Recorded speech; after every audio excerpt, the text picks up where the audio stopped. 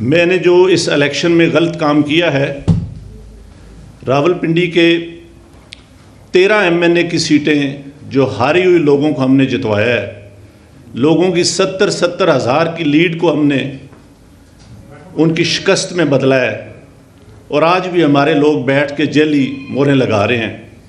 मुझे रावलपिंडी के कचहरी चौक में सजाए मौत दी जानी चाहिए और मैं जो इतना बड़ा जुर्म किया है इसके लिए मैं अपने आप को जो क्राइम मैंने किया है, अपने आप को मैं पुलिस के हवाले करता हूँ। आज सुबह की नमाज़ के बाद एक दफ़ा मैंने खुदकुशी करने की कोशिश की है। असला नाजिर रावलपिंडी के कमिश्नर लियाकत अली चट्टा का खतरनाक बयान सामने आ गया। उनका कहना था कि मुझ पर दबाव डाला गया, जो आज़ाद उम्मीदवार जीत रहे थे, उन्हें हराने के लिए मुझे प्रेशराइज किया गया। लिहाजा मुझे और चीफ इलेक्शन कमिश्नर को सजाए मौत दी जाए। आइए पहले उनकी गुफ्तु सुनते हैं इस पर बात करते हैं। मुझे आलमोस्ट बतौर कमिश्नर रावलपिंडी इंटरम गवर्नमेंट ने साफ़ शफाफ इलेक्शन करवाने के लिए तकरीबन सवा साल पहले लगाया था।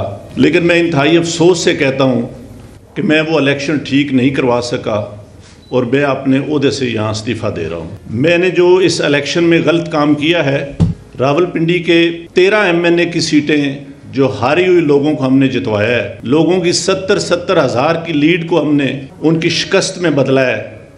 और आज भी हमारे लोग बैठ के जेली मोरें लगा रहे हैं। मैं माजरत चाहता हूँ अपने तमाम रिटर्निंग ऑफिसर से जो मेरे मातहत काम कर रहे थे, जो बेचारे रो रहे थे जब मैं उनको कह रहा था कि आप ये काम, गलत काम करें।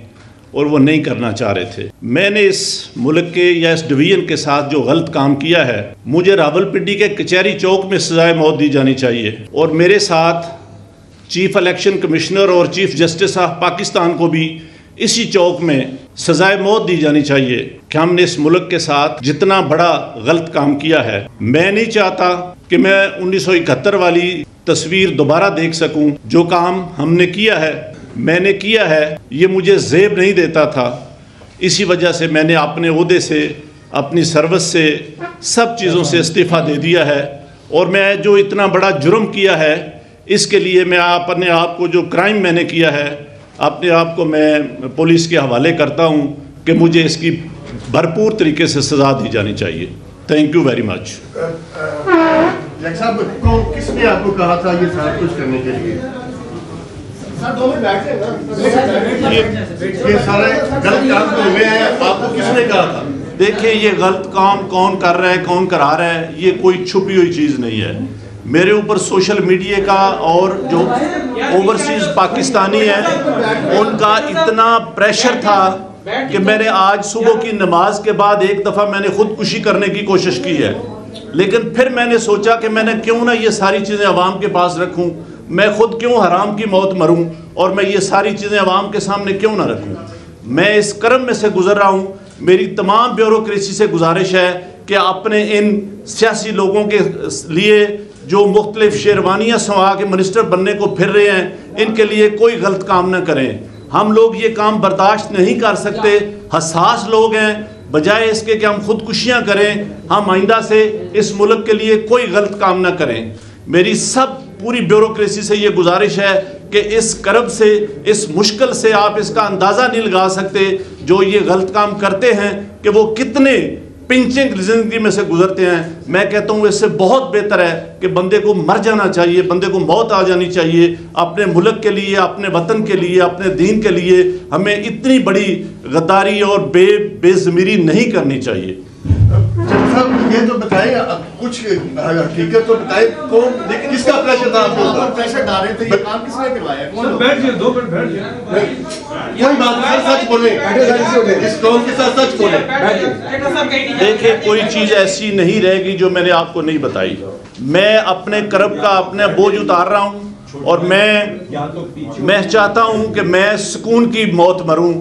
मैं इस तरह की ज़िंदगी जीना ही नहीं चाहता जो मेरे साथ हुआ है। और जो मैंने इस डिवीज़न के तेरह के तेरह एम एन ए जो हारे हुए थे, सत्तर सत्तर हज़ार की लीड से हारे हुए थे, उन पे जली मोरे लगा के हमने इनको दिया कि ये शेरवानियाँ सलवा के जाके मिनिस्टर बनते फिरें।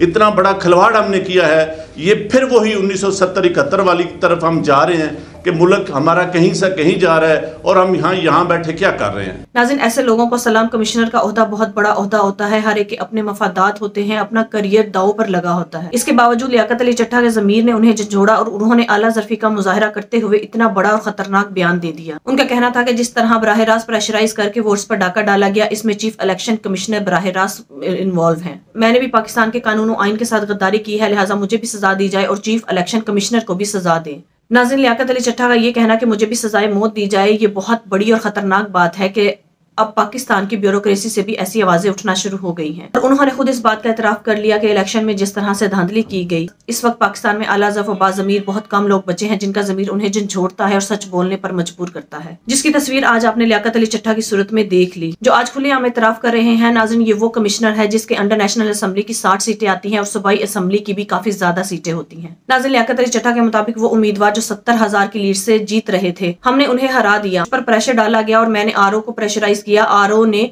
मेरे प्रेशर में आकर जाली रिज़ल्ट बनाकर जो आज़ाद उम्मीदवार जीत रहे थे, उन्हें हरा दिया। इनको जितवाने के लिए हमें कहा गया था, उन्हें जितवा दिया गया। नाजिन चीफ इलेक्शन कमिश्नर जिसकी सिर्फ़ और सिर्फ़ एक ही ज़िम्मेदारी होती है कि मुल्क में फ्री एंड फेयर इलेक्शन करवाएँ। अगर वो एक ज़िम्मेदारी भी ऐसा तरीके से नहीं निभा पाता तो इसका मतलब यह है कि उसने पाकिस्तान के कानून आइन के साथ और अपने अहदे के साथ गद्दारी की है और अपने अहदे को और अपनी कमाई को अपने ऊपर हराम कर लिया है। अब चीफ जस्टिस ऑफ़ पाकिस्तान, जिन्हें पीटीआई के इंट्रा पार्टी इलेक्शन में तो बहुत ज़्यादा दिलचस्पी थी जनरल इलेक्शन में जो कुछ भी किया गया, इसके बारे में जो भी बयान सामने आ रहे हैं उस पर चीफ जस्टिस ऑफ़ पाकिस्तान को सो मोटो नोटिस लेकर फ़ौरन तहकीकात का आगाज़ करना चाहिए। क्योंकि पाकिस्तान की तारीख में इस तरह की नाइंसाफियाँ पहले कभी नहीं देखी गई। लिहाजा पूरी कौम चीख चीख कर ये पूछना चाहती है कि अब कैसे इंसाफ मिलेगा। आपके इस बारे में क्या राय है? कमेंट में जो बताइएगा। अगली वीडियो में मिलते हैं। तब तक के लिए अल्लाह हाफिज।